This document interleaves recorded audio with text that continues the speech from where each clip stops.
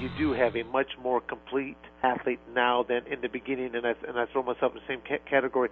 You had a lot of one-dimensional athletes, guys that were either just boxers, just kickboxers, just wrestlers, just taekwondo people, and things of that nature. So you now you have some athletes that can strike with the best of the strikers. They can grapple with the best of the grapplers. I mean, they are a much more complete competitor.